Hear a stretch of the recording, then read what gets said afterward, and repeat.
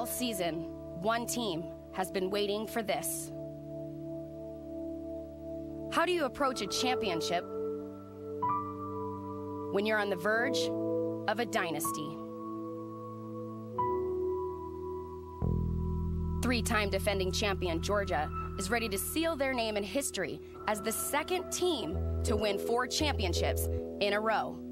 Every champion has to fight their way to a title, but Georgia is a team others want to beat more than most.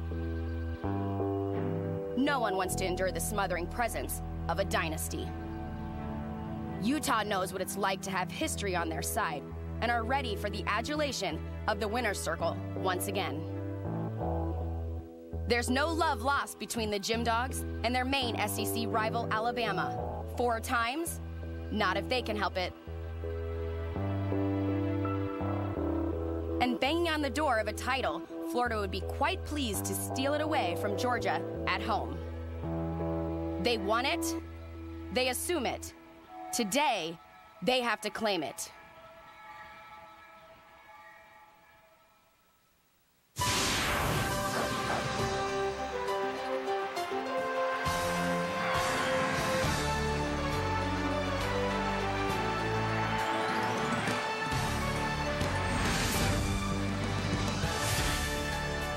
Welcome to Athens, Georgia. We're at Stegeman Coliseum for the 2008 NCAA Gymnastics Championships.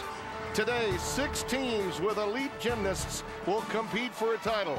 And for the home team, a chance to cement their place as one of the best ever.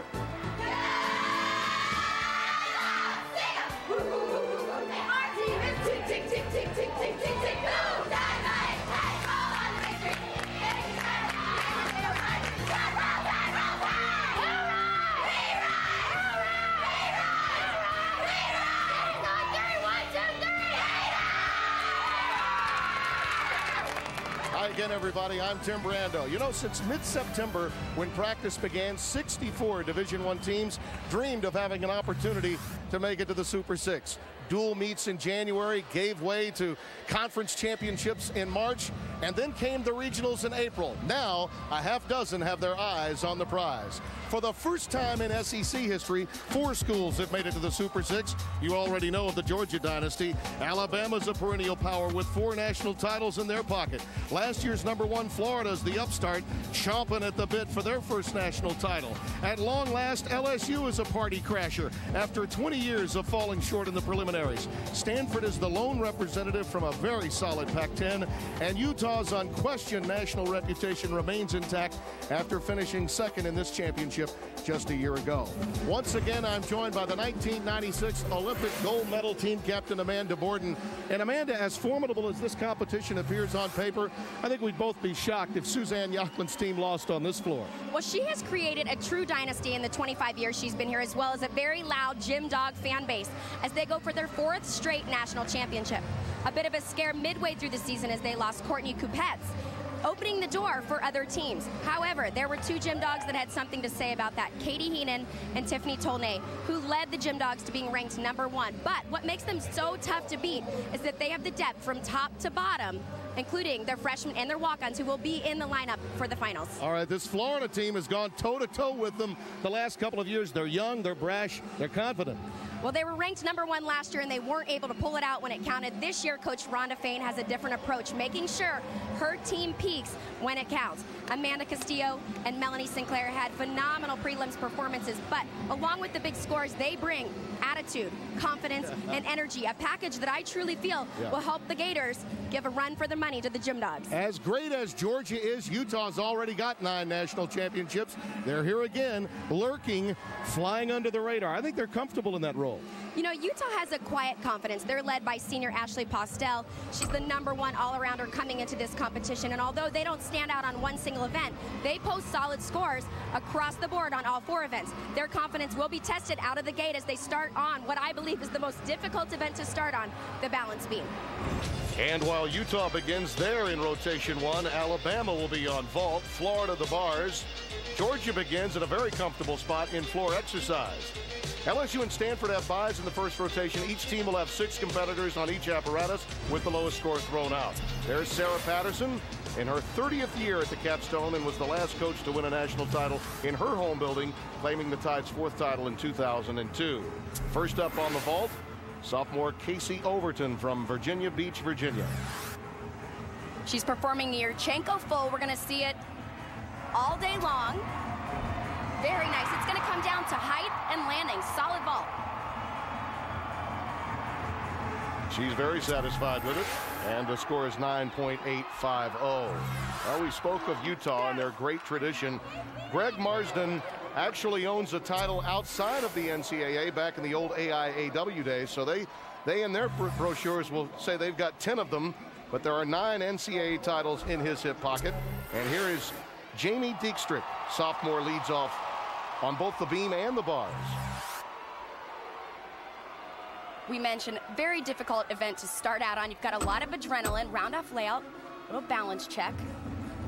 On top of the fact that George is on floor, there's a very loud crowd in the background. Beautiful front aerial.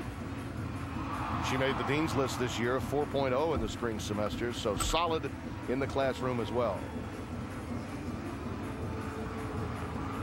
This is one of Jamie's best events. She was the 02 and 04 Junior Olympic balance beam champion.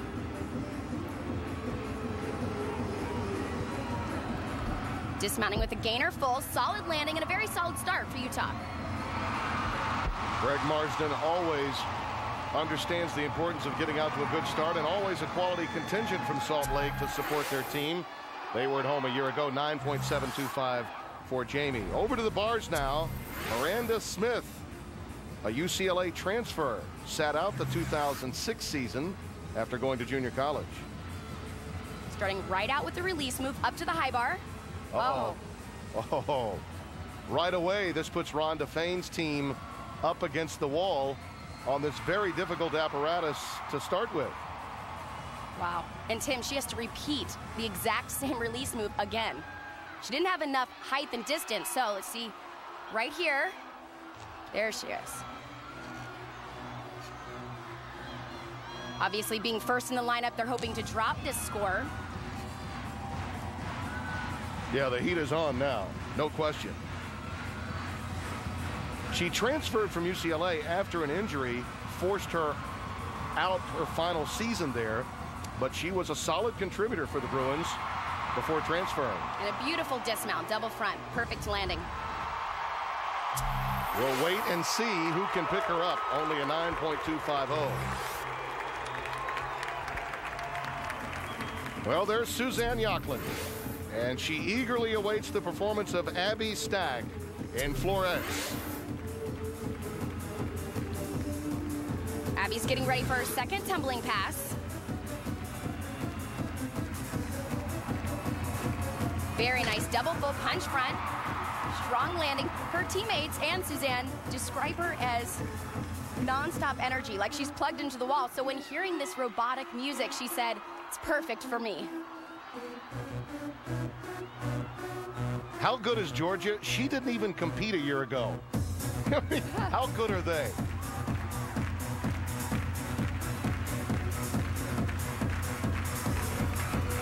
One tumbling pass to go. Remember, these routines are a minute and a half. Doesn't seem long, but it takes a tremendous amount of endurance. Double pike, little bounce on the landing. yeah, there's that energy. It ran out. Uh, it finally ran out on Abby Stack. And another one of many standing ovations we'll be seeing here at Stegeman Coliseum. Abby score 9.850. The NCAA Gymnastics Championships are underway in Athens. CBS Sports presentation of the NCAA Women's Gymnastics Championships is sponsored by the new AT&T. Your world delivered. Lowe's, for all your home improvement needs. Lowe's, let's build something together. And by Enterprise Rent-A-Car. We'll pick you up.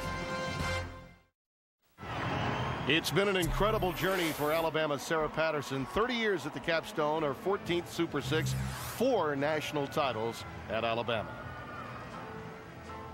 Most people don't get the opportunity to be a head coach when they're 22.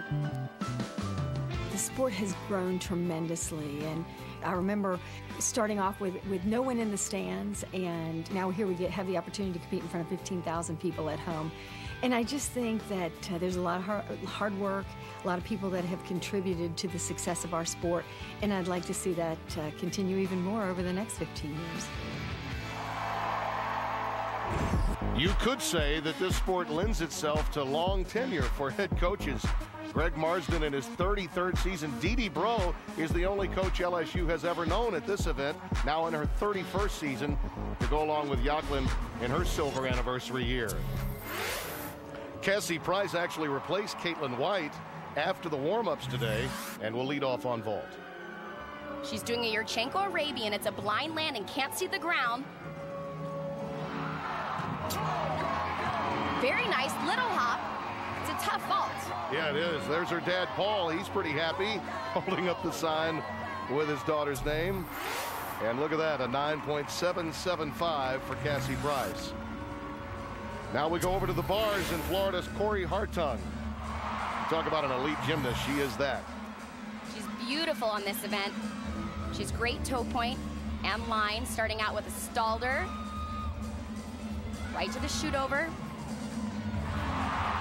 Corey's capable of huge scores on all four events.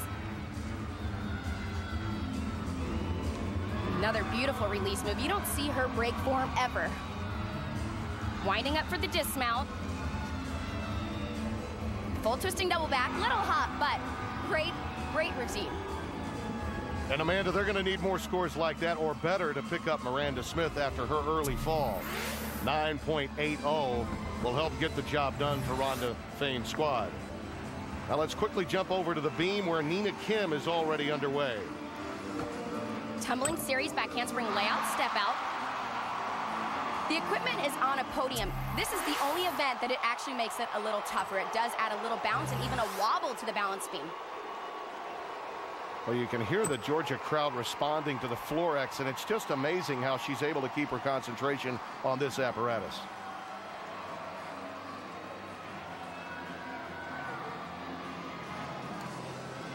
Switch side leap, very solid.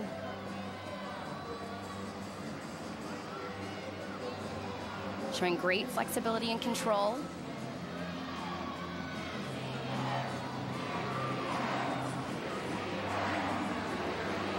There's really never a moment where it's silent in no. this arena. Getting ready for a dismount. Round off one and a half.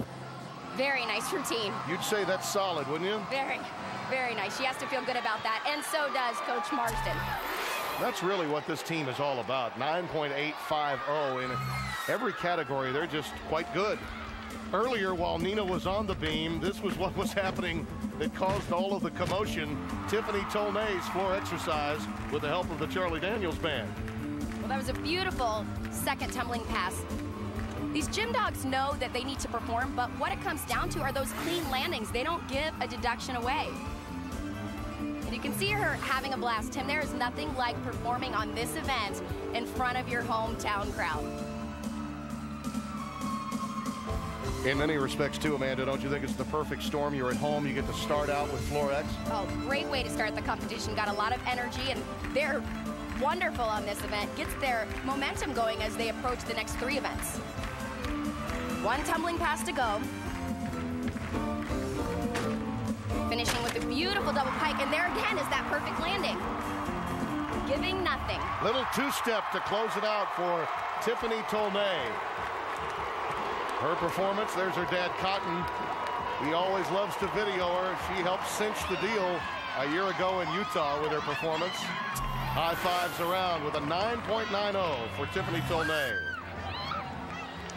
And one of the superstars of this event, Amanda Castillo, and she's going to need that kind of performance to pick up her team after the Miranda Smith fall earlier. She's very dynamic on this event. Opening with a beautiful Jaeger right to a Tkachev the other way. Shoot to hand a little short there. All she has left is the dismount. Short again on that handstand. Tim, it looks like she's feeling the pressure.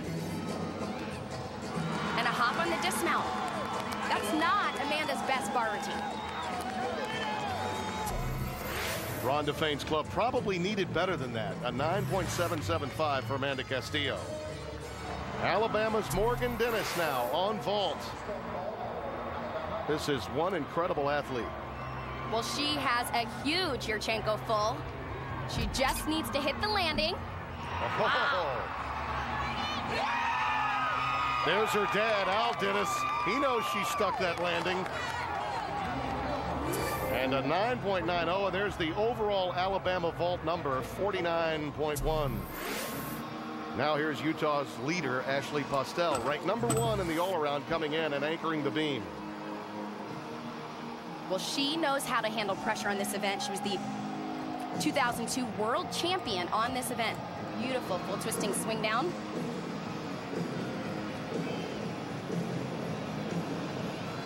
We mentioned she's number one in the all-around coming into this competition because she can score 995s or better on all four of these events.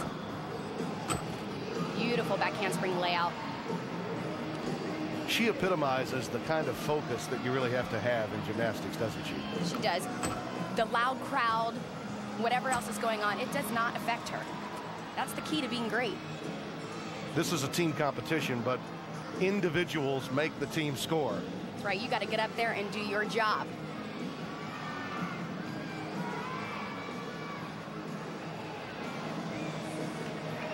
Comes the dismount. Round off, double full. Very nice. You can tell this really means a lot to her in her senior year at Utah.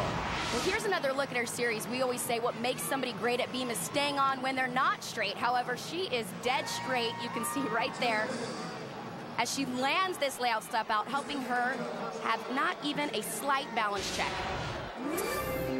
And a quality score for her and her team, just over a 49 for Utah. And Florida's tough start on the bars winds up with their anchor, Melanie Sinclair, looking to really help out her team. She is tiny, but she is packed with huge gymnastic skills just like that. Beautiful release move. Right, giant full right to that Gienger. Beautiful shoot to handstand. A lot of these skills we're gonna see every gymnast doing. It's coming down to who nails their lines right up to that vertical position and who sticks their landings. Double layout. That's, as, that's as good as we've seen from Florida. They really had to have it. For the team, though, you'd have to look at the overall score and say that this was not what they bargained for on this apparatus. Already underway on floor exercise, senior Katie Heenan. You know, Amanda, I believe that with the loss of Courtney Kupets, she really took it upon herself more than any other gymnast to lead Suzanne Yoculan's team. Well, you know, it was a fear midway through the season to lose an athlete like Courtney Kupets, but they have really stepped up. And just on floor alone, the lowest score so far is a 985. They've already had two 9.9s ahead of Katie. We mentioned this is a great event for them to start out on.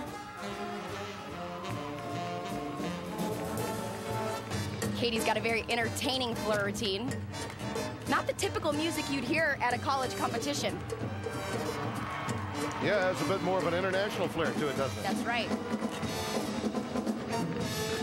Last pass, double pike. I'll tell you what, Tim, they are not giving a single tenth away. No, they're not. Big band accompaniment for a big band approach for Katie Heenan. And another standing O from the Gym Dog crowd. Suzanne Yoculan with a huge hug. 9.950. In fact, when you look at these numbers on Georgia and Floor X, so good were they. Courtney McCool's anchor performance was really of no consequence. But Georgia does lead the way. Alabama is second. Florida, a tough start for them. And Alabama's Sarah Patterson is with Amanda. Sarah, you guys started on vault, one of your stronger events. I noticed a significant change in the lineup. Can you explain that to me? Well, I, I, think we wanted to go with Kayla Hoffman third. Uh, Kayla has that uh, tendency to just stick that vault, and I thought it would elevate our team. She did. She was just a little forward. Um, we, we went with Cassie Price because we felt she was vaulting better in um, warm-ups, and I thought she did a great job of sticking her landing. So we're, we're excited. Are you satisfied with that performance, and where are you looking as you go into the second event? Well, you know, I, I think um, no team is going to be absolutely perfect tonight. And, uh, you know, I think Morgan Dennis uh, just capped off six there, had a great vault at the end. I, you know, I feel like this competition is, is going to be so close that it's going to come down to .025 of a point. And we're just excited to be here. I think our ladies are ready. And I think after the first event, we'll settle in a little bit more. Thank you very much. In rotation two, Stanford and LSU join the party. We'll be back.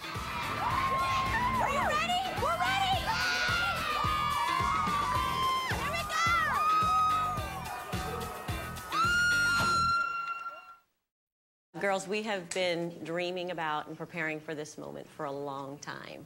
I am so proud of this team. I'm so proud of who you are. This is a great team.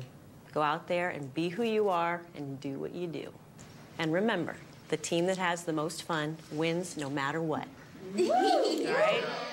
Are you ready?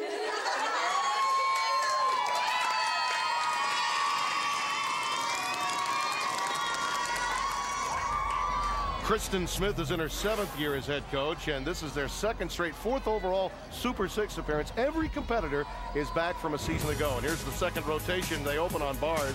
Georgia on vault with Florida on the beam, and LSU will open its first Super Six with floor exercise. Here is Nicole Ourada a junior from Germantown, Wisconsin, who opens it up for Stanford on bars. Nicole is a beautiful gymnast. Starts the routine out with huge release moves. Right here. Great height there. What stands out about her as an athlete, though, is her impeccable form. Got great extension, beautiful toe point.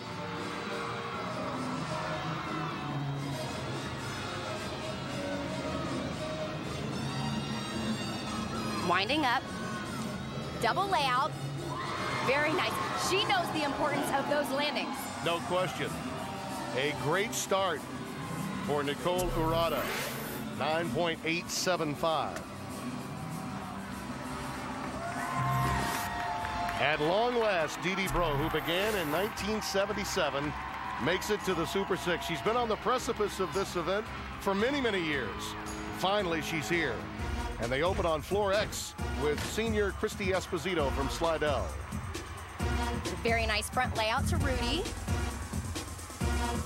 She has scored a 9-8 or better on this event eight times this season.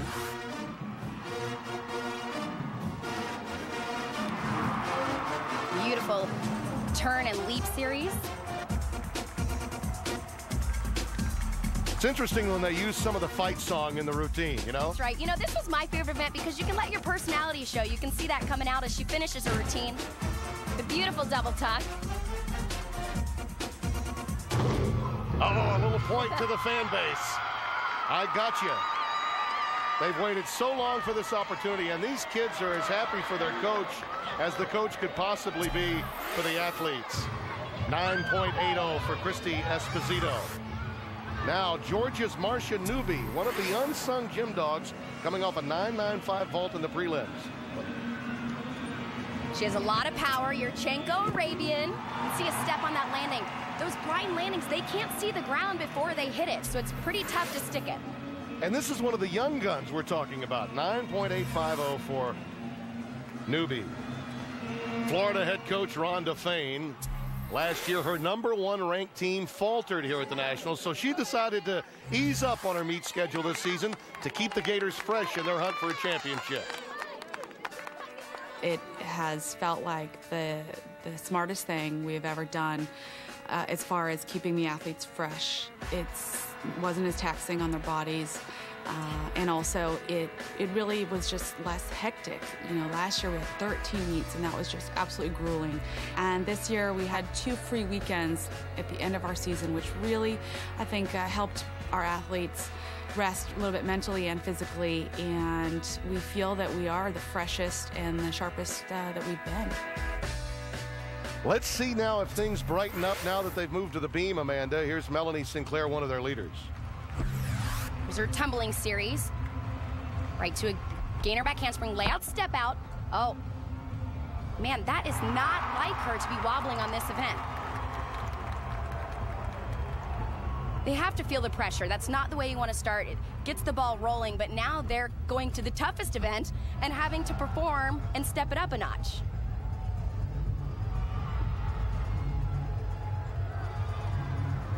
We've always considered the balance beam the make or break event. That's how we describe it. You really want to get up there and just hit six for six.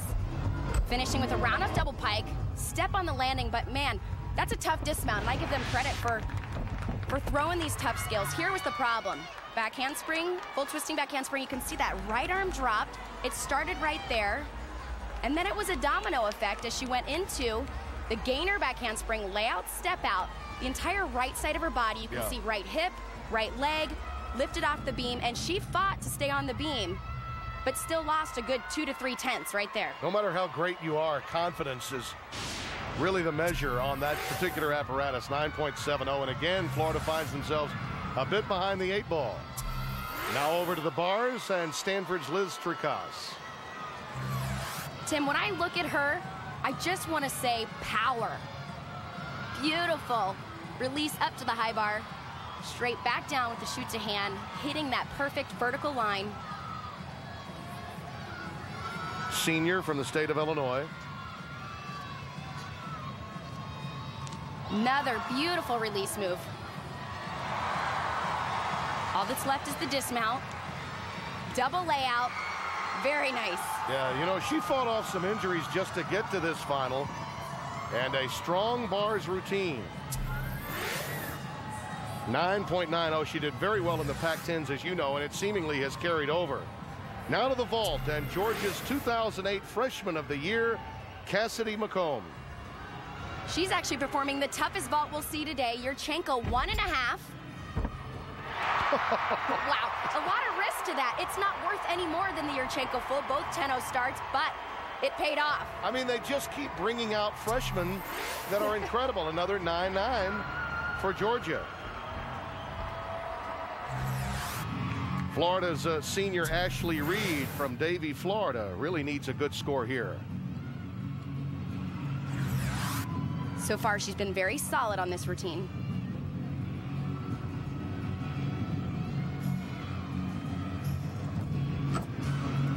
Beautiful flexibility, straddle jump, straddle jump.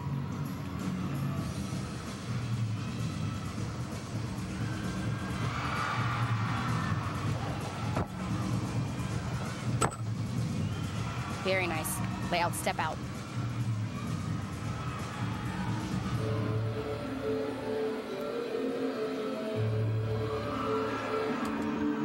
Dismounting with a round off double full. Another big hop.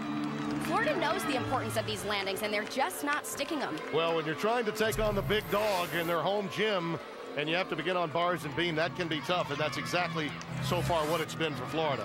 When we come back, we'll see how the veterans of this Gym Dogs team handle the momentum, and will Amanda Castillo be able to help Florida fight them off?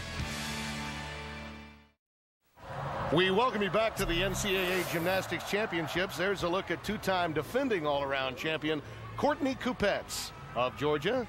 She tore her Achilles in a meet back in early March, and she is sorely missed by the Gym Dogs.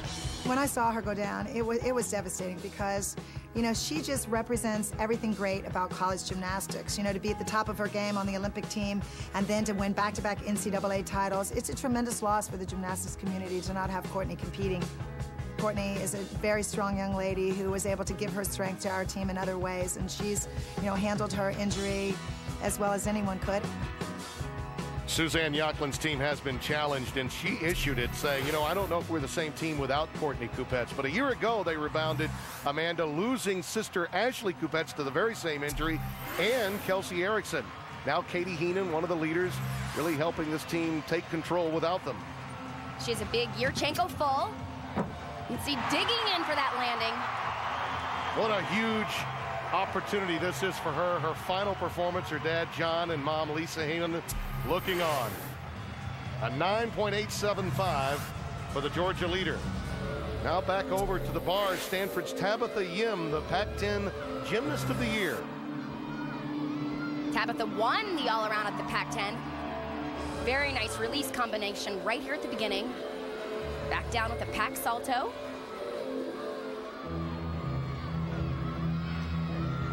She's a very aggressive competitor.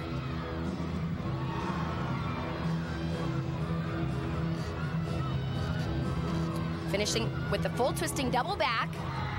Hey, Stanford's off to a quality start. Don't look now, but the Cardinal are making a move in this competition. 9.850 for Tabitha Yim.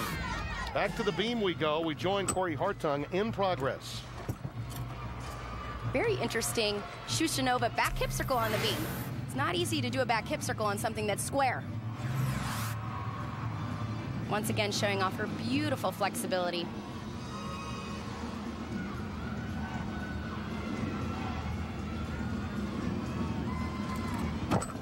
Front aerial. Single shows you exactly how wide that beam is. It's only four inches wide. You talk about the defining lines of gymnastics. Corey Hartung really personifies that, doesn't she? Beautiful. She was an elite gymnast, and she really brings that to the collegiate field as well. She actually was a member of the 0304 U.S. national team. Dismounting with a round off two and a half. Little hot, but, but solid routine. Corey Hartung awaits her score for Florida, 9.80. Now, while she was on beam, here's LSU sophomore Susan Jackson, a first-team All-SEC gymnast. Very nice lead pass. Tim, you have to watch this move coming up. I don't recommend doing this at home. right here. That's called a back head spring. Wow. We usually don't recommend, you know, landing on your head. She does a very nice job of it, though.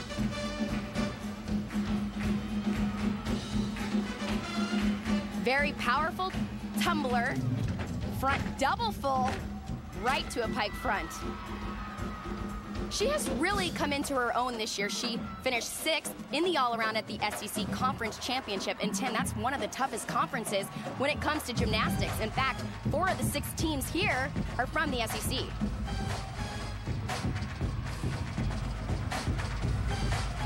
Comes that last tumbling pass. Beautiful double pike. She scored nine nines, and I'll tell you what, that's got to be close. Dee Dee Breaux's got to be happy. Sometimes you've got to use your head to make your first Super Six. 9.875 for Susan Jackson. Back to the beam we go, and Amanda Castillo again with plenty of pressure for Florida. Here's her tumbling series, back handspring layout, little bobble. You cannot help noticing, Amanda, she's the only competitor on beam that uses beam shoes. That's right, you don't see them very often anymore.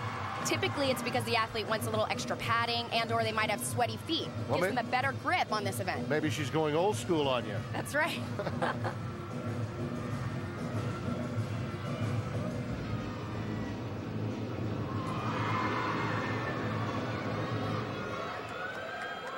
Beautiful flexibility here on these straddle jumps.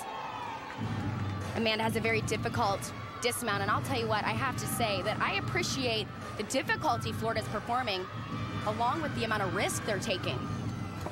Round up, double pike. Those are tough dismounts to be sticking. Let's take another look at her series. Back handspring layout, two feet. You can see there again that right arm scooping down. It's just enough to take her off balance. So Florida will just have to fight from behind the rest of the way. Let's go back over to the vault. Tiffany Tolnay already on Flora, 9-9 today. Performing Yurchenko one and a half. Little step there on that landing, but you know, she struggled with some fear on this event. Great performance. Overall, though, Georgia creating some distance between themselves and the competition, 49.225 on vault. While Amanda Castillo was on the beam, this is Ashley Claire Kearney and her floor exercise of LSU. It's her second tumbling pass. Beautiful double pike. And watching this routine, I'd say this girl can dance. Oh, yeah. Brings in a little attitude along with big gymnastics.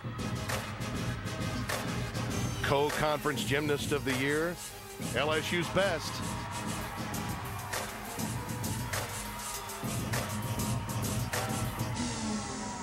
You know, I don't sense any nerves from these competitors from LSU. This is the first time they've ever been here.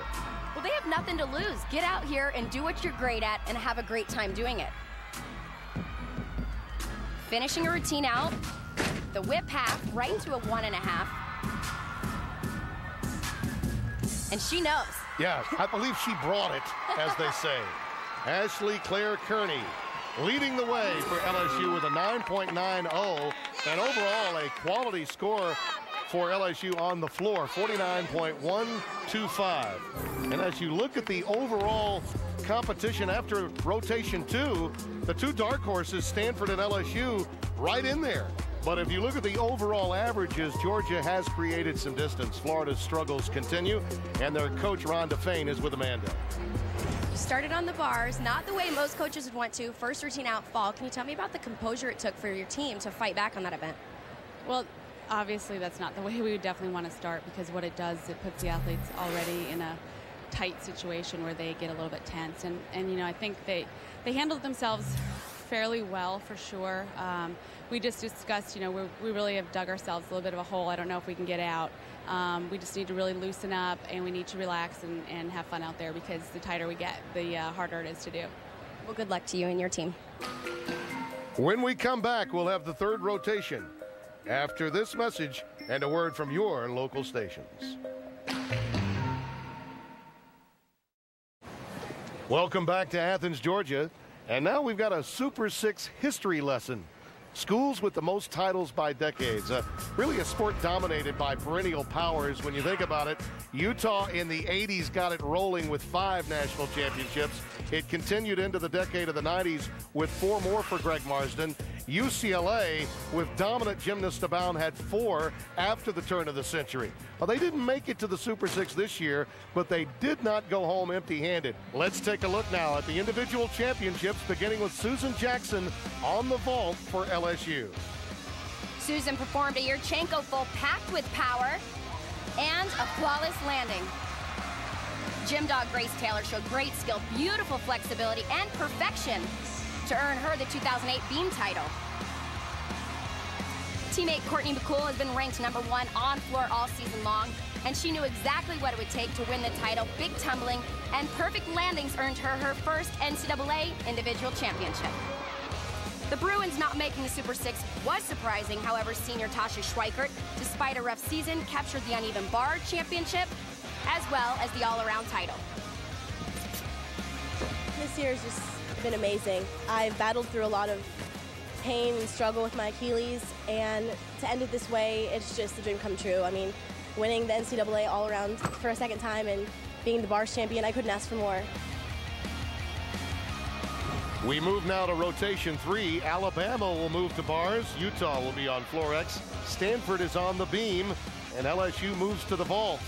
And Pennsylvania freshman Paige Cipollone, one of the young guns on Dee Breaux's team, will get them going. Starting it off with the Yurchenko full. Little off balance there to the right. Mom Stephanie looking on with a 9.725 for Dee Breaux's club.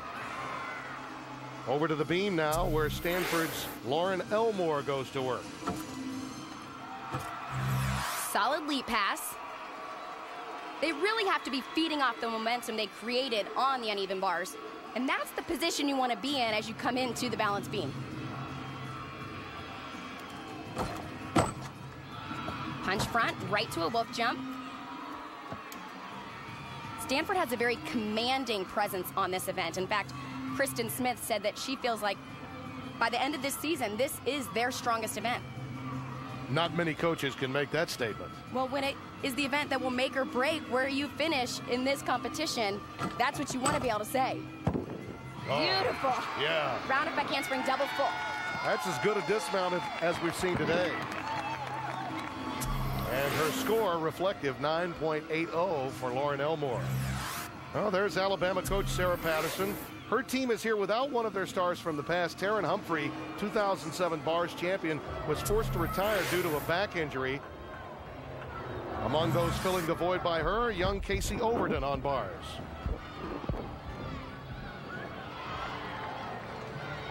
Very nice giant full, finishing it right on top to the Tkachev.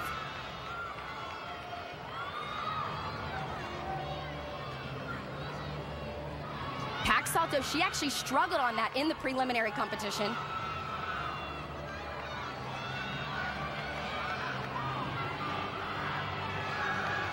She winds up for the dismount, looking for a perfect landing, and she did it. Oh. And it's roll tide time in Athens. Casey Overton with a 9.80 for Alabama. Back to the vault we go. Sophomore Kayla Rogers of LSU. The judges have seen this vault all day long, the Yurchenko full. So they're looking for height off the table and landing. Ah, you can see she's fighting for the landing, but that's a significant deduction when your chest is that low. And that score is not going to help their cause. So a little bit of pressure on LSU. Meanwhile, Utah's Daria Bijak has some trouble on Florets. Very difficult double front punch front. You can see on the double front, not enough rotation. Her hips went backwards, causing her to land really short on that landing. So now the Utes need some help from freshman Kendall Robarts.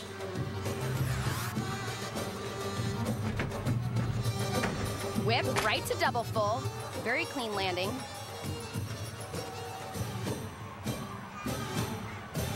Her coaches describe her as having a cat-like style to her dance.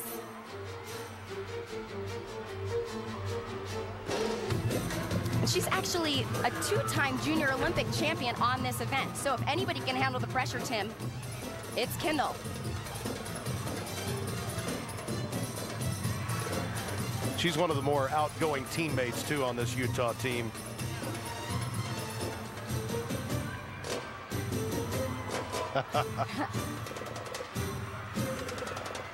Catching her breath for the last tumbling pass.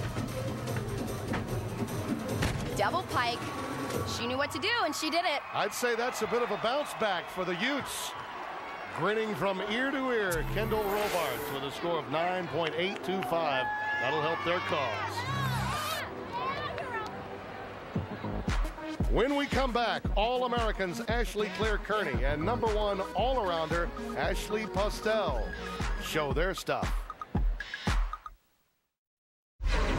Get complete coverage from all of the NCAA championships, including recaps and results from each event at the new NCAA.com, the official site of NCAA Sports. We welcome you back, and here's Stanford's Tabitha Yim on beam, Amanda. She always has a game face, especially on this event. She's very sharp and confident.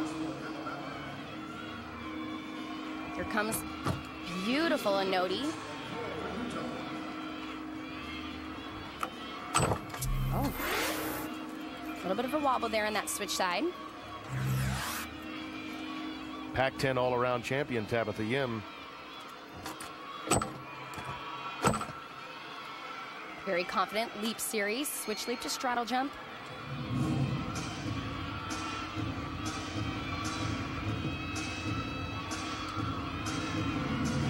There's that game face as she gets ready for her dismount. Round off double full. And she didn't even move those feet, letting the judges know you can't take a thing. Her mom, Inja, is uh, looking on proudly, and well, she should 9.850. Back to the vault we go. LSU's Susan Jackson, the 2008 vault champion. You don't think she's going to use her head here, do you? she is a huge Yurchenko full.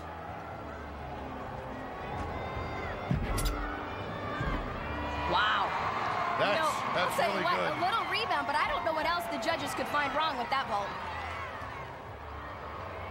Dee Dee Breaux very happy with Susan Jackson's performance to this point. 9.925 for the LSU star on this apparatus.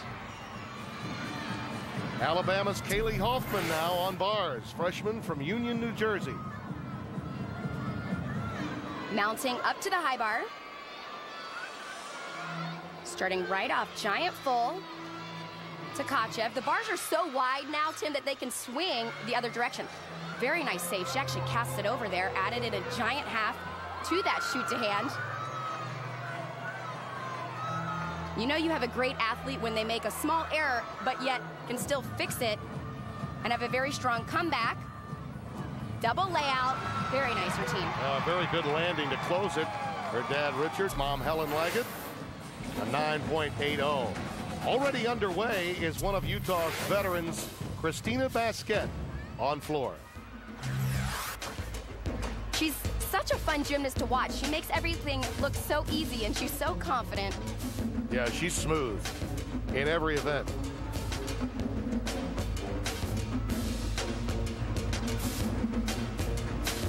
Beautiful leap series to a Shushunova. We talked about the podium on the balance beam. It makes it a little wobbly. However, on this event, the podium actually makes it a little bit easier. That adds a little bit of bounce to the floor, making this last tumbling pass a lot easier.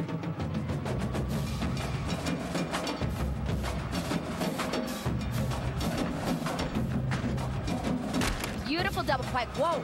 You can see she was right on the edge of that line. That would have been point one in a deduction, but she saved it. Really a veteran move to make sure that she located that, that left foot where she did. 9.850 for Baskett. Ashley Claire Kearney of LSU may be the top gymnast that they have. She's going to be following a 9.925 on vault coming for Susan Jackson, but she's up to it. At the regionals earlier this year, she came up with a perfect 10, Amanda. Well, you know what? She's got so much height on this Yurchenko fold that she can actually spot the ground and drop it in. She doesn't give the judges one thing to take. That was just a few weeks ago. Now on the grandest stage, and after getting LSU to a place where they've never been, and that would be the Super Six. Here she goes, her overall ranking number two in this event. Wow.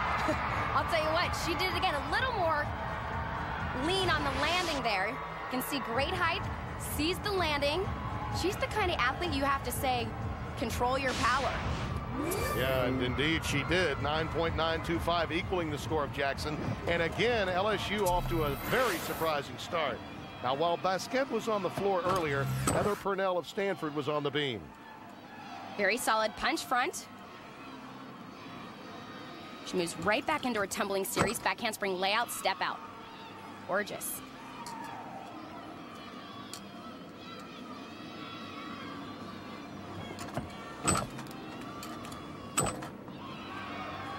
Strong leap series.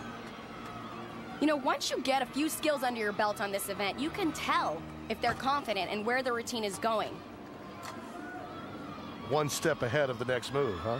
That's right. You always want to be concentrating on the skill that you're on, however, knowing where you're going in the routine, commanding your body, letting the judges know that this is your best event. Switch leap, right to a gainer full. Well, I tell you, this Stanford team is getting the job done. They're going to be in this all the way through. They know it too. 9.85 for her, and their overall score 49.175.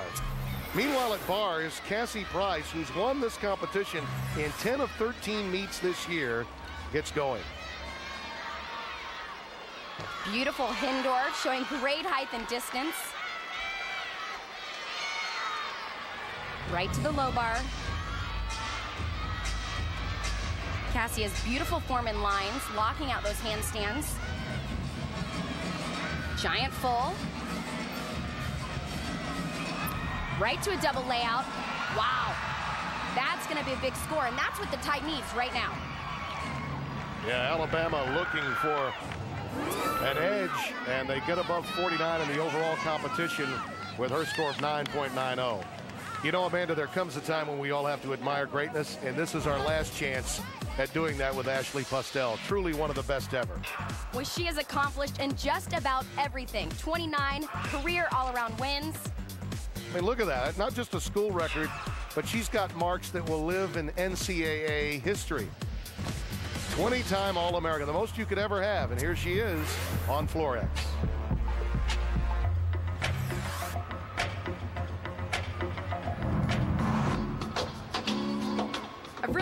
enjoyed watching her college career. You see these elite athletes move into that college position where it becomes team focused. But seeing them hold their elite level skills just really impresses me. I think in her case, she's always had added pressure because she knew what she was bringing to the table for Utah. Expects so much of herself.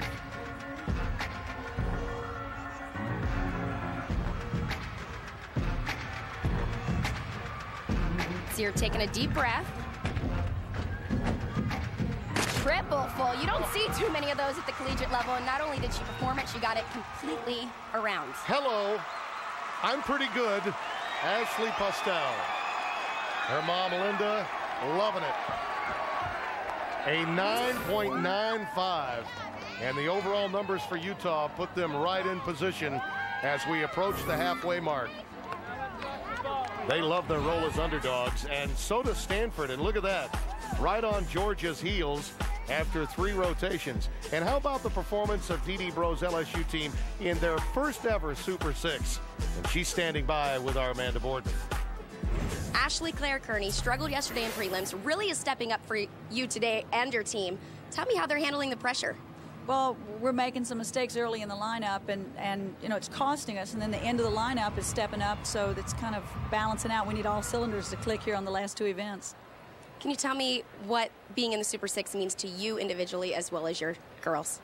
Well, you know, it's a goal. It's the only way you can get to the next level is to, to stop at this point and enjoy this. And you have to learn how to be here. And I think that my kids are handling it really well. And it means a lot to our university, and it means a, a lot, I think, to the to the city and the state. So I'm just really excited to be able to represent LSU. Congratulations and good luck. We're halfway home here in Athens, Georgia. More of the 2008 NCAA Gymnastics Championships coming up.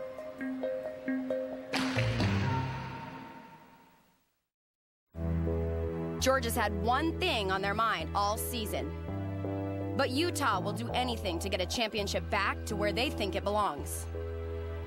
And Stanford is rising to the occasion, eager to make their own mark as number one.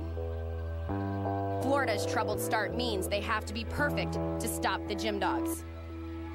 Georgia's halfway to a title, and they won't give up at home. At the halfway mark, Amanda, to no one's surprise, Georgia very comfortable at home. Well, they are feeding off this crowd. They've had huge scores on floor and vault as they go into uneven bars and balance beam. And with Florida's missteps in the early rotations, really opened the floodgates for an upstart like LSU. They look very comfortable. And how about Stanford? They've been the biggest story. Very strong. Started on bars and balance beam. I think the two toughest events, they've gotten them out of the way. Now it's floor and vault, all fun. Utah is lurking. I mean, they're very bunched up, and this is an experienced team. You know, we mentioned it before. They're solid. However, they're heading into the event they're ranked number one on, and that is the vault. Yes, they are. And uh, Georgia will be on bars. Bama moves to the beam, and Stanford on floor exercise. LSU and Stanford each have byes. Georgia's Suzanne Yoculan does say that next year she will step down and uh, leave the keys to this engine to Jay Clark, who's been with her 16 years as the Gym Dogs associate head coach. And uh, now we head for the home stretch. One of the senior leaders, Nikki Childs from Plano, Texas on bars. Georgia is ranked number one on this event. Beautiful giant one and a half Gienger between the bars. Right back down with a pack salto.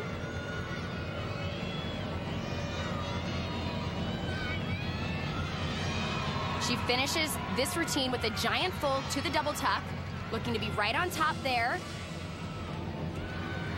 Very nice. Spotted that landing and nailed it. Outstanding. We may be leading the country in standing ovations in one event today. Nikki Childs at 9.850. Over to Utah's Daria Bijak on the vault. We haven't seen this type of vault in this competition. Handspring front layout. This new table, it takes a tremendous amount of power to do that kind of vault. Greg Marsden's team keeps on keeping on 9.85 for Bijak. Now the Florida Gators need to begin to mount a comeback here on floor exercise. Ashley Reed gets things going.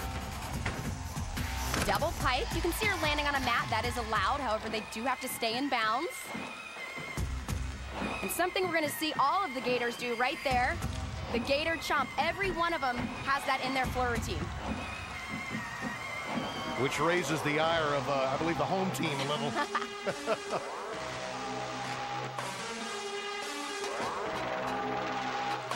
Very creative floor work. It's probably my favorite event to watch at the college level because they really learn how to dance. And of course, they all have the big tumbling. Finishing it out with the front layout front full. Hey, I remember your floor X. You've always been partial to floor exercise. Ashley Reed with a quality performance for Florida as they try to mount a comeback after that difficult start on bars and beam. A 9.850 for her. Now, while Reed was on the floor performing, Alabama's Ashley O'Neill was trying to keep uh, her concentration on the beam. Switch leap, straddle jump. A little bit of a balance check.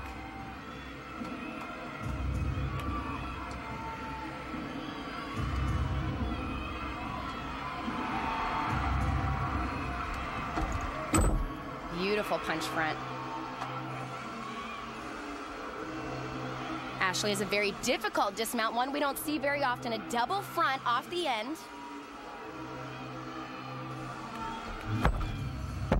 Oh, a little short there. Yeah, what a shame, too, because up until then, it had really been a good, solid performance. Let's take another look. Very difficult. Can't see the ground. Just not enough height. And you can see when she lands, her hips are totally behind her feet. And of course, that is a fall. A major deduction. 9.225. So Bama can ill afford another bobble of any kind. Now let's go over to the vault and Kendall Robarts.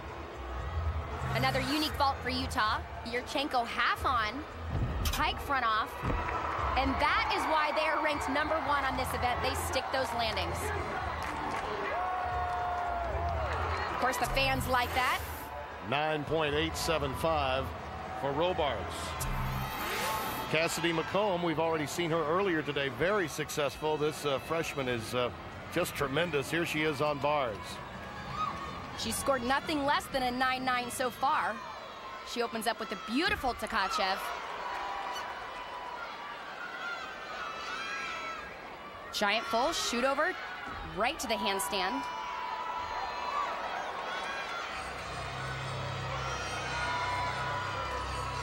Winding it up. Finishing with a full twisting double back and a beautiful landing.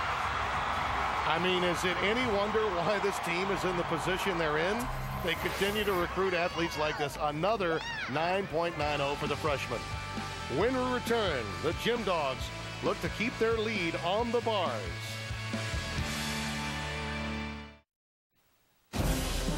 Tune in to College Sports Tonight for the best way to get college sports today. Get inside the latest news, scores, highlights, and more only on the CBS College Sports Network, the new pulse of college sports.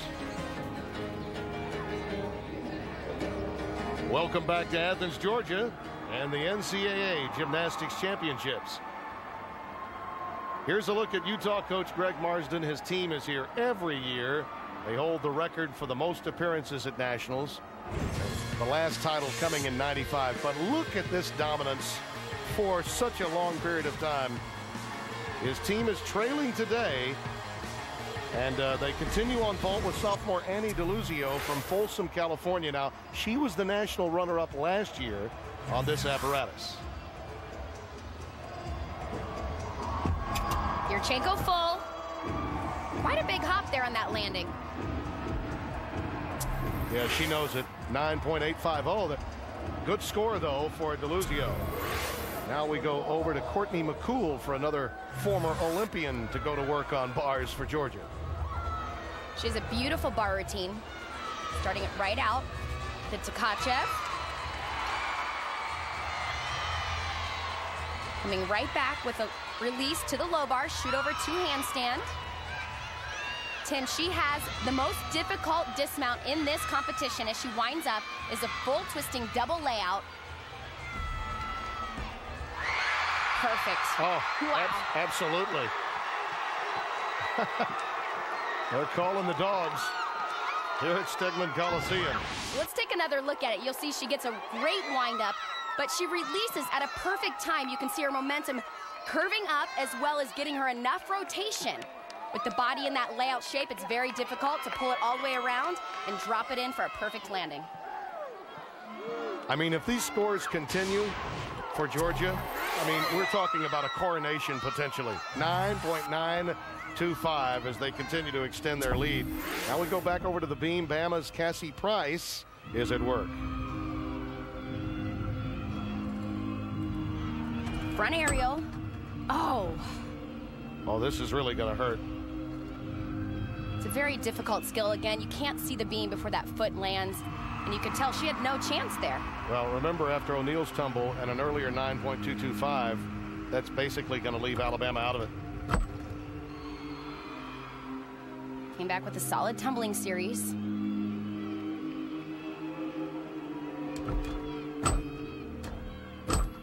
It's the hardest thing in the world to do, isn't it? After you know you've you, you're really out of it, that you still have to finish the routine. And in this situation, you also have your teammates counting on you too. They had such high expectations coming in at Alabama, having performed so well in the latter half of the year, even without Terin Humphrey. Beautiful kick over front. Tell you what, this has been a flawless routine besides that one mistake.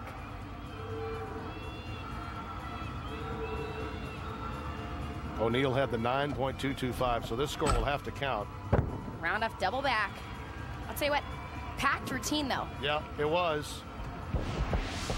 Let's take another look here on the front area. You can see her body is totally to the right. That left foot lands completely off the beam. She had no shot to save that. Those great expectations, once they go away, that's tough. Cassie Price's score, and They'll have to count it. 9.250 leaves Alabama out of this competition. Now to Kristina Baskett. She's had solid performances in this competition. Yurchenko full, beautiful. I mean, they, they just won't go away, Utah. it's as if they know that this is a marathon, not a sprint. 9.875, offering the greatest challenge to Georgia, it appears. Tiffany Tolnay. Now for the Gym Dogs on bars.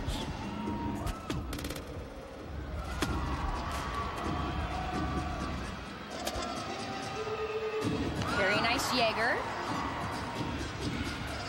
Wow. You don't see too many athletes hold the handstand on the bar. That's what separates those 9.8s to the 9.9s.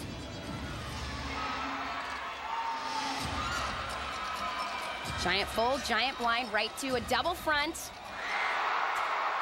They keep doing it. Yeah. Nail every landing. And a uh, rather, oh, I don't know, pedestrian 9.875 for Georgia. Let's go to Florida's Melanie Sinclair trying to bring the Gators back on floor.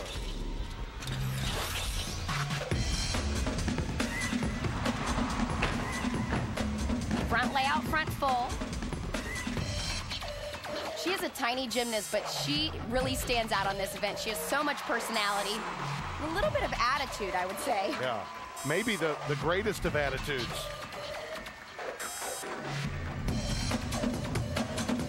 And at this point, Florida has nothing to lose. They need to get out here and have a good time. This is a great event to do that on. Pick back their momentum up. Yeah, and at this stage, you know as a team, they have to feel they're out of it, but it doesn't appear to have any effect on Melanie Sinclair. Well, and they still have a job to do. Two more events to finish up. Beautiful double pike. Whoa. and there's that chomp. oh, yeah. Melanie Sinclair, the future is now. Her family knows it, and uh, so do her teammates. And Rhonda Faehn gives her a big hug. A 9.90 for Sinclair. Over to Ashley Postell. She's only number one in the country on vault. Performing Yurchenko full. Wow. What a day she is having. I'll tell you what, another near perfect performance. Here it is, beautiful height, perfect form, spots the landing and doesn't move. A 9.95 for Postell, and uh, Utah keeps on creeping up in this competition. But it's Georgia that's got all of the momentum towards a fourth straight national championship. This is Grace Taylor while Sinclair was on the floor. Hops her hands. Beautiful front stalder right back down to the low bar. Shoot to handstand. Very impressive stalder combinations. Woo! That's the Comaneci. You don't see that too often anymore. Named after Nadia, of course. Both she and Bart are glad you mentioned that. Double layout, small step there, but beautiful routine. Another great score, 9.825 for Grace Taylor. Now, Florida may not have a shot at the national title, but they're moving up on the floor, and here's Amanda Castillo to prove her point. And like Sinclair, Amanda also has a lot of personality. We've seen Florida make a lot of leaps and jumps as a team, and I do think that Amanda brings a lot of that, a Oh, lot yeah. of confidence, really leading the team. She and Sinclair are both sophomores, and uh, I don't know that anyone knew they wanted to be a Gator before Amanda Castillo did. That's right, she knew as a little girl, this is where she wanted to be.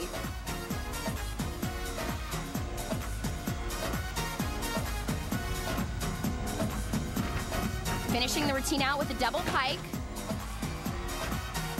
We talked about it, they have the leadership, but they also bring the big scores for the Gators.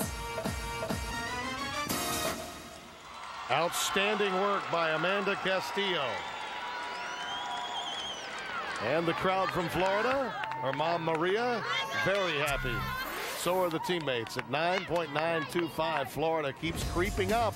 Overall, after four rotations, Georgia with the lead, Utah on their heels. And when you do the total averaging, after the vault performance by Utah, they're right there. And uh, Greg Marsden's with Amanda. You guys look phenomenal out there. There's a lot of energy. How are you feeling about their performance so far? You know, I feel great. I, I, I you know, Beam's a tough place to start, and of course, Georgia's on floor, and the crowd's going crazy. Uh, and I thought we were a little tight in the beginning, but we've loosened up, and I think each event we've gotten stronger and stronger. Uh, vault was just, we rocked vault. It was just great. Well, Kristina and Ashley posting huge scores for you today. Can they carry you through to bars and finish this out? Well, I hope so. I, I you know, we've got to go sit through a bye now and, and uh, kind of relax and then get, then get ourselves together and uh, come out, hit handstands and stick dismounts. That's what it's about. Thank you very much. All right, when we come back, Georgia looks to lock up their fourth straight national title. After this message and a word from your local station.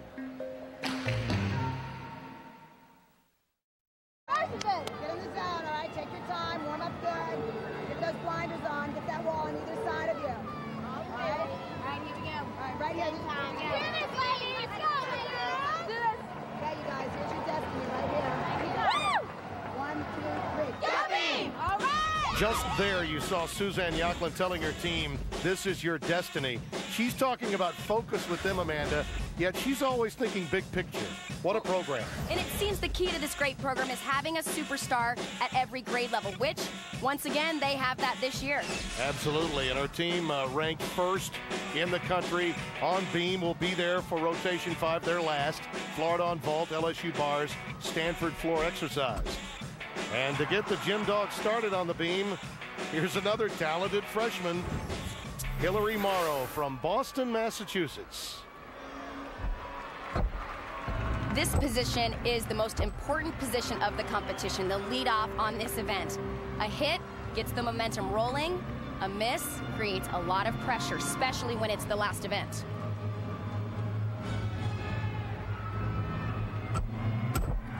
Very nice punch front. I believe Hillary is the tiniest college gymnast here at a whopping 4'7", although she claims 4'8". She grew an inch since she's been here in Athens. So they'll uh, cheat a little bit on those brochures in gymnastics right. too, huh? That's right. She just needs to nail this dismount. Round off double full. Bingo. There it is. Great start. That's what they needed. There's her dad, Dan, very excited, getting a few high fives himself, while his daughter gets a hug and a 9.80, just for starters on beam. Now it's Lauren Elmore of Stanford floor exercise.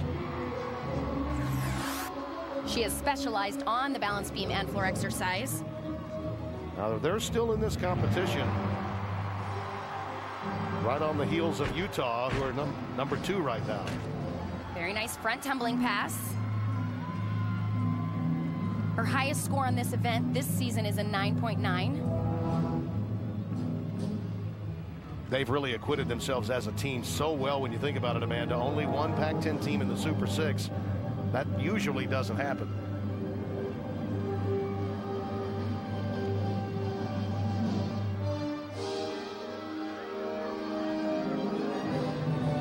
Here comes that last tumbling pass. Finishing with a two and a half punch front. And a little Superman move there. No kryptonite needed. Stanford's Lauren Elmore with another quality performance. She's had many of them today. 9.825 her score. Now we'll go over to the bars where another talented freshman from LSU. This is Stacy Schwitkus from San Diego, ready to go. I have been so impressed with LSU. They have a very young team, and they have really stepped up under the pressure. Very nice shoot to handstand, nailing that vertical line. Finishing the routine with a full twisting double back. Absolutely just what Dee Breaux needed. And the contingent from the Bayou.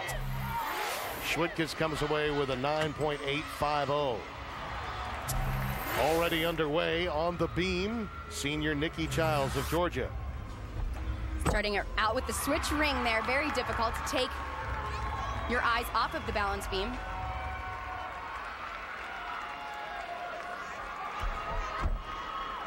Solid front aerial.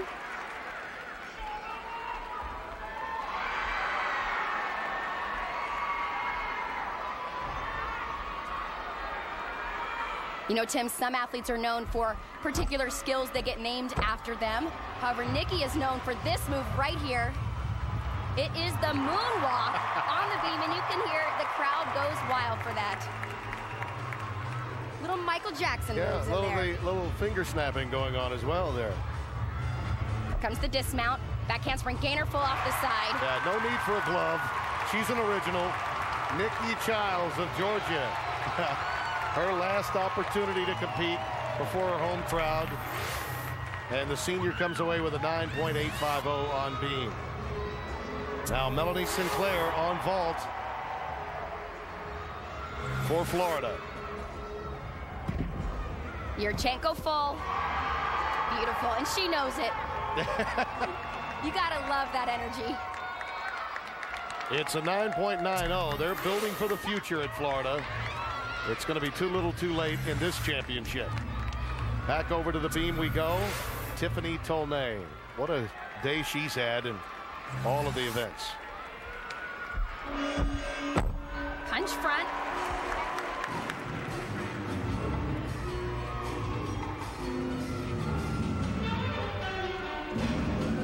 At this point, Tim, they just need to hit their routines.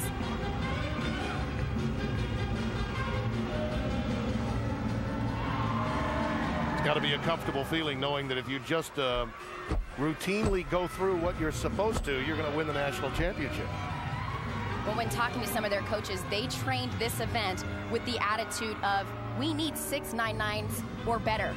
Putting the pressure on in practice helps them handle this pressure. Two back handsprings to a double tuck. Little step, but good enough. Yeah, I mean, regardless, it's going to be a quality score. Maybe not a 9-9, but her teammates have certainly picked her up. That's a 9.750 for Tiffany Tolnay. When we come back, Georgia looks to lock up the national championship and add a little more hardware to their trophy case. Back here at Stegeman Coliseum, a look at all the championships the Georgia Gym Dogs have won. Winning four in a row would be an amazing accomplishment for this team. Our seniors have an opportunity to compete for four in a row, and on top of that, to do it right here at home. The pressure that's there is really on the outside, people saying, you know, you've got to win four, you're going to win four.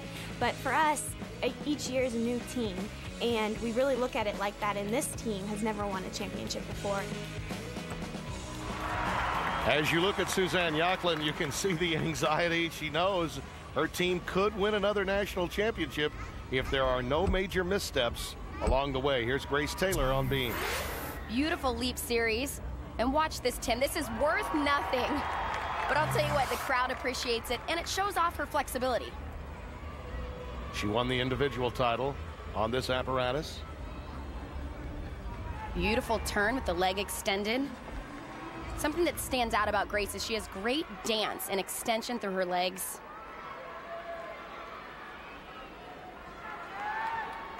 Front aerial with that blind landing and not even a balance check. To have been a freshman on the team that won in Salt Lake has to mean a lot. I mean, you're older than a sophomore in this situation if you have to compete for Georgia. Finishing it out with two back handsprings to a double full. Another magnificent performance. Crowd wants a 10 for Grace Taylor and mom and dad, Lynn and Daniel, with a nice celebratory kiss and a 9.875 for their daughter. Now let's go over to the vault and Ashley Reed for the Florida Gators. Performing the risky Yurchenko one and a half. And it paid off, I'll tell you what, huge vault. Well, you've got to be impressed with the way they've come back in this competition. Ashley with a 9.950 and 49.40 for Florida on vault. Now the floor exercise, Tabitha Yim, the outstanding veteran star of this Stanford team. We talked about her intensity. I love seeing her smile on this event, see a little bit of her personality. Says a lot when you've got um, a conference that includes an all-around champion at UCLA like Schwikert that you are the gymnast of the year in the Pac-10, which Tabitha is. Well, they had a phenomenal performance at the Pac-10 conference championship leading to this competition. Finishing her routine out with a round off one and a half front full and a very nice landing.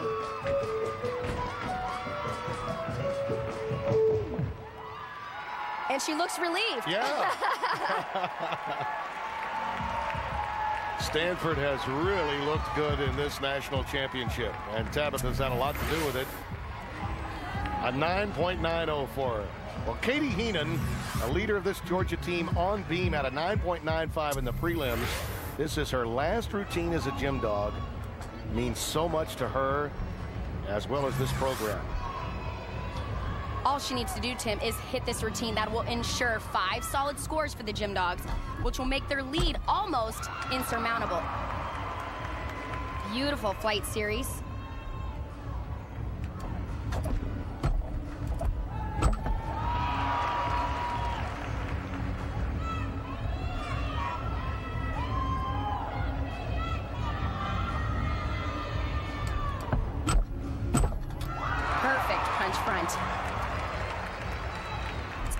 If she knows this is her last chance to be a star in front of this crowd. Oh, yeah. No question. To think that you'd win a national championship in every year you competed. That's what's in front of her. Finishing it out, round off, double full. wow. Tim, I didn't think there was a single thing wrong, and it is not too often that I say a routine deserves a 10, and I'll tell you what, that that's pretty close. Look, if not for a 10, it still means probably a national championship. She may have just sewn it up. If the score is what we anticipate it being, this lead is probably not one that can be caught. 9.950. It would take a Herculean effort for anyone to catch the Gym Dogs. And look at her excitement. She knows she clenched it, but more importantly, what a way to go out your senior year. Meanwhile, Ashley Claire Kearney, who's been outstanding throughout her career, now on bars for LSU. This was going on while Heenan was on the beam. She anchors for LSU on every event. Because of that, she is dynamic, and she can get big scores. LSU is still in the race for second, and uh, we're at this stage of their program. What, how much would that mean? Well, finishing it out right there. Beautiful dismount. What an incredible day Ashley has had. Fantastic performance by Ashley Claire Kearney. She was concerned in the prelims about her efforts and whether they'd make it this far. They did, and she's come up big on bars, 9.90 for her and 49.20 as a team. Back to the beam, Courtney McCool with, uh, I guess, the cherry on top. That's right. Pressure is off. Get out there, have a good time. Courtney still very competitive, will do everything she can to post another huge score for the Gym Dogs.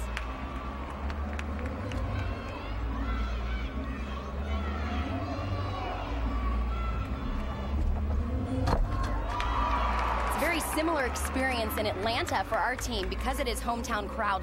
When they're on the beam, it's pretty quiet. When they land, crowd goes wild. Yeah, back in 96, you remember that, right? That's right.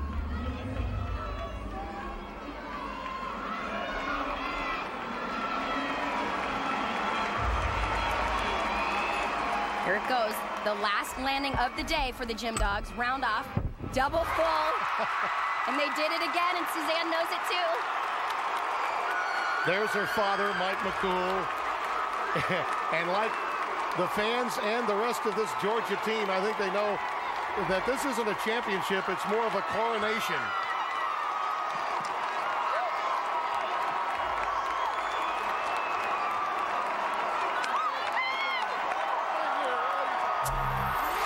Look at that. Yet another 9.90 for Courtney McCool in Georgia. And the Gym Dogs now have put themselves in a position where truly they have built an insurmountable lead, one would think. Look at that score. After rotation five, 197.450. And the race for second includes Utah, Stanford, and LSU when we return.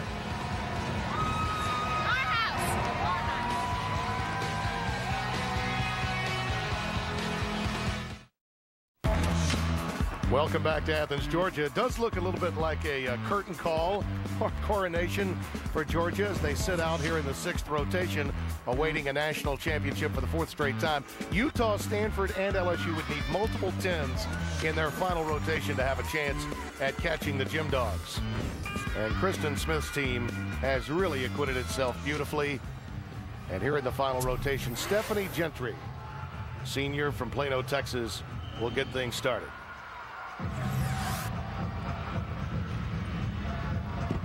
Yurchenko full. Big step there on the landing. And you know, at this point, Stanford needs to be sticking every landing. And her vault garners a 9.750. Utah's Jessica Duke from Sandy, Utah.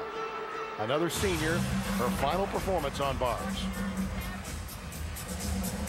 Like Coach Marsden said earlier, they've got to hit these handstands and stick their landings. Beautiful Gienger. Moving right down to the low bar with a shoot to handstand. Mathematically, Utah would need an average of 9.935 in this competition to well, catch Georgia. That's pretty tough to do, but it will come down to the landings. And right there, that hop will take it from a 9.9 down to that 9.8 range. That being said, though, this contingent has got to be proud. This could be the third straight year Utah finishes second in this competition. A 9.80 for Jessica Duke. And here's Susan Jackson now on the beam. And she needs some perfection right here. Well, she has really stepped up. She's only a sophomore. Well, this team for Dee Dee Breaux, you talk about youth movement. This is a very young squad. You know, and this has to build their confidence. That way they can start focusing on next year. Hopefully to see them back in the Super Six again. Beautiful punch front. Well, your conversation with Dee Dee Breaux said it all. I mean, you've got to get here to become comfortable in trying to win here. Well, I'll tell you what, their confidence today, I know she said they've had some mistakes, but they have really stepped up and put up five great scores on all four events. Finishing with round of double tuck. They've got the big skills. It's just going to be pulling out those big numbers. 9.80 for Susan Jackson of LSU. Back over to the vault now, Carly Janiga of Stanford. Another Yurchenko full. Fighting for that landing. They know they have to stick those. Yeah. She felt pretty good about it. And her score, only a 9.775. So these big scores that we were anticipating to try to catch Georgia simply aren't happening right now. Nina Kim now for Utah on the bars.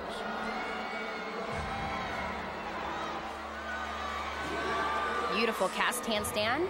Right a toe handstand. Very nice form on the Tkachev.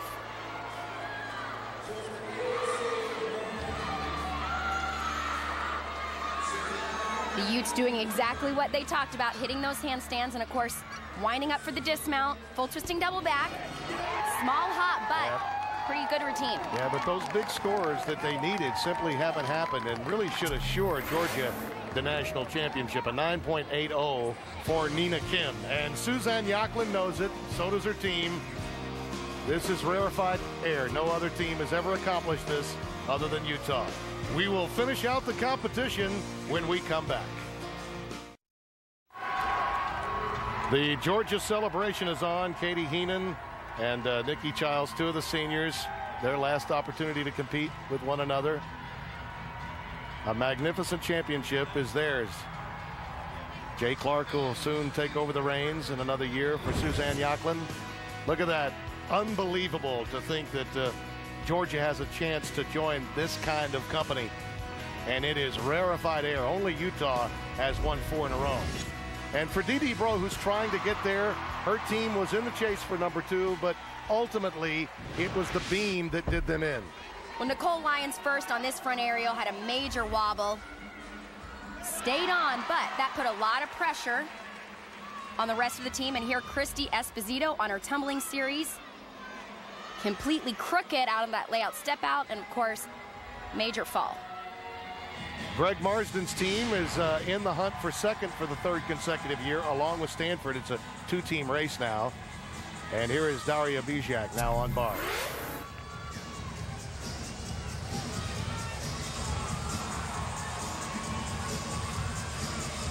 Starting out with the release move right up to the high bar.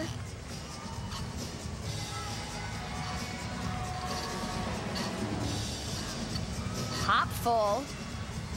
Beautiful release move. They're just nailing those vertical lines. Almost pointing it out to the judges. I mean, in any other competition, you could say Utah might be winning a national championship. I mean, their numbers have been great. And those landings have been great. Huge score right there. Don't say second doesn't mean anything, right? A 9.90 for Daria Bijak, and she is pumped.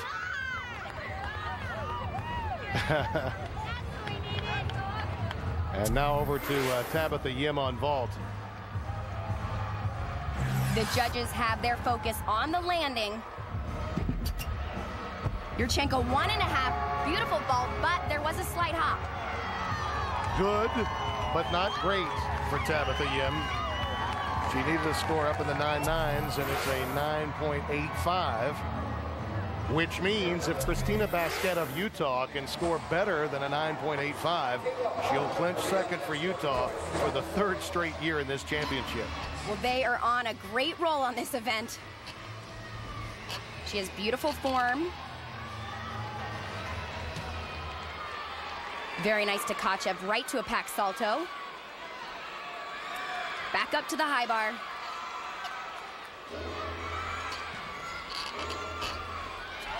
Dismounting. I think she did it. Yeah, I, I think she did it. I think she knows it. So does uh, Randy and Jean, mom and dad, watching from above. There it is, a 9.90 for Kristina Baskett. Second place for Utah yet again. And for Stanford, here's Liz Tricase. She has a huge vault. Yurchenko full. A little bit of a rebound, but a great finish for Stanford. One last look for Dad Pino and Mom Sheila. And for Stanford, a quality performance as a team and a 9.925 on the vault for Liz Tricase. And uh, one more look for us at Ashley Postell, one of the all-time greats in collegiate gymnastics on the bars. Well, she's had a phenomenal day today, finishing her senior year out. She's also being inducted to the USA Gymnastics Hall of Fame, and you can see why. She's a beautiful gymnast. And really, I think, puts as much pressure on herself as any competitor we've ever seen. Well, that's why she gets nine nines and nine nine fives. Finishing it out with a double front and another perfect landing. Amanda, I don't know that we've ever seen her smile as much as we have in this competition. I think you're right. What a remarkable performance today. A 9.950 for Ashley Postell. Another second place finish for the Utes. But the title, yet again, belongs to the Georgia Gym Dogs. And when we come back, their celebration rolls on. CBS Sports presentation of the NCAA Women's Gymnastics Championships is sponsored by the first ever G8 from Pontiac, the official performance machine of the NCAA. Coca-Cola Zero, real Coke taste and zero calories. And by State Farm, where great coverage meets great rates. Call, click, or visit and start saving today. We welcome you back to Stegeman Coliseum here in Athens, Georgia. And as fantastic as Georgia's performance was, the scoring for the rest of the competition was truly remarkable today. And the champions are standing by with our Amanda Borden right now. Congratulations, Suzanne. Four titles in a row. What does it mean to do that in front of your hometown crowd? It's something I've always wanted since 1989. In 1989, we were ranked fifth and had no idea what we were doing and just happened to win. This time, I think we knew, knew what we were doing, or at least they did. They were really just terrific tonight. Well, you have nine titles now. That ties you for the lead. What does that mean? How have you created this powerhouse for Georgia? Well, you know, it's just a combination of so many people. We have so many people surrounding our program that, program that are very passionate about what, what we do. And all of the girls on our team are very committed to the way we do things, and they're very confident in the system and the program. And, and that kind of confidence is what gives you the success that we've had. And Katie Heenan, you are a senior leader to this team, but there were a lot of people that contributed. This meet was a team effort all the way through. The journey started back in the fall, um, back in 05 even when these seniors stepped on this campus. It was a storybook and we ended with a fairy tale ending. And that beam routine, you nailed it. What did it feel like to know you clenched it? Such a good feeling. Hometown crowd, stuck landing, team behind me all the way. This team is amazing. Well, congratulations, Gym Dogs. All right, Amanda, we witnessed some history here in Athens, a fourth straight title. Now coming up next, 16 USBA and US Open champions roll for big bucks at bowling's Clash of Champions. So for Amanda Borden, I'm Tim Brando saying so long from Athens, and we leave you with sights and sounds of the competition where the Gym Dogs did it yet again.